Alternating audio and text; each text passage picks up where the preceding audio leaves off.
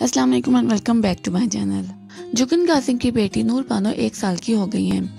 आज की इस वीडियो में नूर बानो की पहली साल की रसी ली गई तमाम तस्वीर आपके साथ शेयर करेंगे और दिखाएँगे कि जुगन कासिम ने कैसे धूमधाम से अपनी बेटी की पहली सालगिरह मनाई। जुगन कासिम के दो बेटे हैं, हमजा और Hasan. Morning show host Juggan Kazim को अल्लाह ताला ने दो बेटों के बाद बेटी की रहमत से नवाजा, जिसका नाम इन्होंने नूर बानो रखा। नूर बानो अब एक साल की हो चुकी हैं।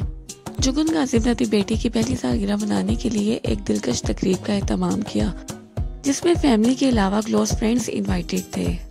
बर्थडे के मौके पर नूर बानो ने बर्थडे की थीम के मुताबिक ड्रेस पहन रखा है, जिसमें वो बहुत ही खूबसूरत नज़र आ रही हैं। जुगन काजिम ने अपनी फैमिली के साथ अपनी बेटी की पहली सालगिरह का खूबसूरत केक भी काटा और आए गए मेहमानों की तरफ़ से नूर बानो को तहाइफ के अलावा लंबी उम्र और सेहत की दुआएँ भी दी गई।